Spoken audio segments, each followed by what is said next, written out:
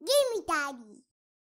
Hello everyone, this is Emmond with Gamey Daddy and I'm here with another video from Tom Clancy's The Division. So, today I'm trying to see if we can answer the question if the Clear Sky farm is actually difficult when you're running with randoms. Now, this is not a Clear Sky farm tutorial, there are hundreds of those on online. If you want to learn how to do it, you can actually go online and do it. The difficulty is finding a team to do it on the fly. So just randomly matchmaking and then do it. Now, why am I saying the difficulty is that is because I've seen like some comments on the servers on, you know, on PC with people just complaining that they can't find good groups to run it with. Well, honestly that's not largely the case but there is that instance where you don't find good players that can actually run the mission. But what am I what am I what I'm trying to do today is I'm not trying to say that the Clear Sky farm is the most efficient farm or it isn't.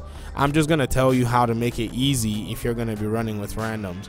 So your goal is to try to run it under 10 minutes. That's where that's where you want to stand. You want to run it under 10 minutes or if you can run it you know at 11 minutes whatever that's still fine um, say you complete each run in 11 minutes say you know based on random matchmaking and you're able to do six runs in an hour this is going to yield you about 5400 ge credits. This is uh, the global events credits which will eventually yield you three of the superior caches and then you can buy the other uh, global event cache for 900 uh, credits so what do you want you want you're getting four caches in an hour and so i think it's probably a good way to farm so some of the things you want to do when you're going into just a random matchmake is you want to take two cookie cutter builds with you. That's all they are.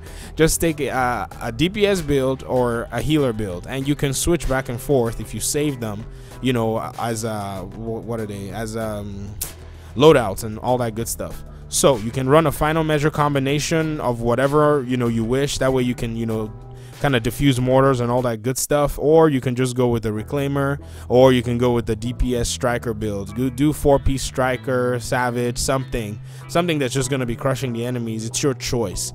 Now you can also um, if you want to go crazy, you can run a Firecrest build, use high skill power, but the goal is to have a good heal. I feel like that's what it is that a lot of people are missing. Like sometimes I go into some of the random matchmaking um, deals, and some people's heals can't even get you to full health. You want your heal to be able to at least get you to full health, except you're a DPS player, and so that's probably not gonna matter. The second thing you want to do is you want to know the team style. So when you jump in this game, you know, you want to kind of feel the team. Some people are good about jumping in and just taking the lead and saying, hey guys, we're going to try to run it this way, this way, and this way. And sometimes nobody speaks to each other, but you want to kind of know the pace of the game. And so you want to follow through so that you don't get kicked off the group. So some teams are going to do some things differently. Some people will start from the right side, some people will start from the left side. Some people would after planting the fuses will run under the chopper and wait for the boss, or some people will run to the stairs to wait and funnel all the NPCs in there, take them down. The boss usually comes and so when the boss comes in there, you know, they're just going to, you know, all gang up on the boss, use tactical link and shred him to, you know, pieces.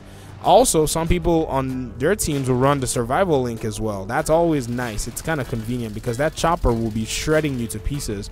I don't care what your toughness is. You might be able to take a few more hits, but it's going to do a good job to take you down. And then you have those two snipers as well. So, four caches in an hour. Imagine if you put out, you know, 10 hours of farming or whatever. So, four caches an hour. In 10 hours, you have 40 caches. Now, we have 120 hours or so left on the global event. So when I'm saying 10 hours, some people might be like, man, I don't have 10 hours. But over the course of four days, if you want to get the classifieds that are being dropped right now, it's probably one of your best bets. And then there's also the chance that you might get a classified drop in doing some, you know, other things as well. So five days left, 120 hours. I'm not saying grind for 120, 120 hours in five days that would be insane if this wasn't your uh, full-time job or if you're not a content creator. So when you're matchmaking with you know randoms i think that's kind of one of the most rewarding uh, things you can do. And so just to get ready getting those builds in place following these few steps i think you might be able to just come out on top with you know your credits and get yourself your six piece uh, whatever. And also, you might be able to get yourself um, some exotics. I got myself the the big Alejandro. I think I got that one from playing Warrengate, so that was not even a thing. Uh, what else did I even get? I got my six piece Predator, which I'm really excited for. I'm gonna bring a video for you guys on that one.